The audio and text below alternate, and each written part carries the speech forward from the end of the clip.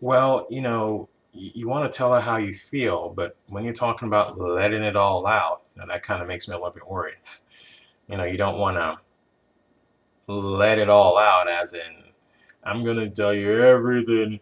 When you walk, I'm crying because I just love the way your feet look when you walk. When you talk, I'm having heart palpitations because your voice is so sweet. No, you know, nothing like that. You know, just just tell her how you feel.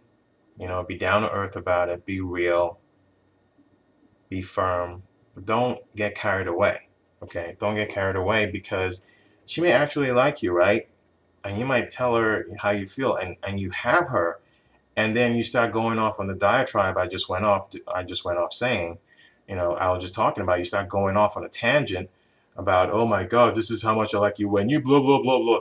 And now she's going, uh, maybe not.